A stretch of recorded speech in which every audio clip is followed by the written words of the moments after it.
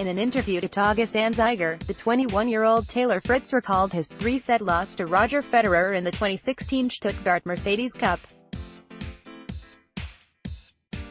Fritz lost in three sets and it was a really balanced match, there I received a learning lesson.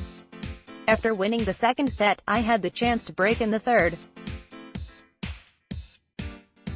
I thought, what will I beat Federer?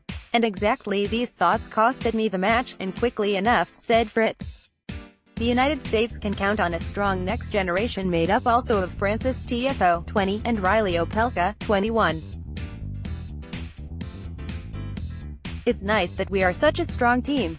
The buzz around it is understandable because we are all strong. The fact that pressure is not just on one player helps us because we can satisfy the expectations, Fritz finally praised Federer.